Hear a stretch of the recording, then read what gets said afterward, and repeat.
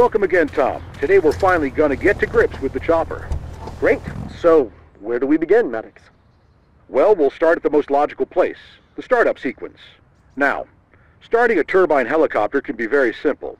However, it can also be a very fast and very expensive mess-up if you're not careful. I've known a number of often pretty experienced pilots lose everything from one botched startup. and no, your pop isn't included in that number, Tom. All right, let's get to it. The startup sequence varies with every helicopter. You might want to make notes, or find some method of remembering these basic procedures. In general, we should proceed as follows. Switch the batteries on, and keep an eye on the charge.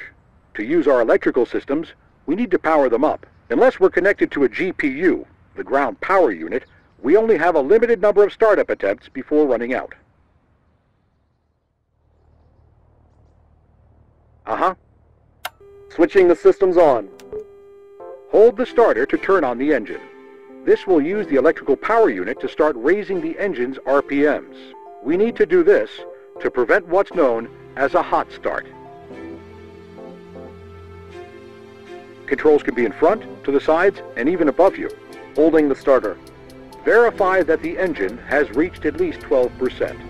RPM at 12%. Okay.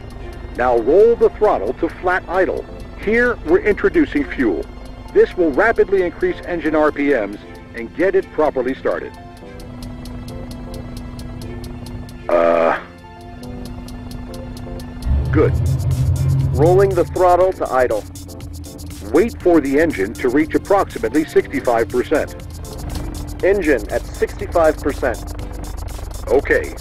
Release the starter. Note that releasing the starter prematurely can cause a hot start. Starter release. Now wait roughly 15 seconds. This will allow our components to warm up. This warm-up is not necessary for the engine itself, but it will prevent stress and wear on other moving components. Warm-up completed. Bring the engine up to full throttle. This will rapidly increase the rotor's RPM.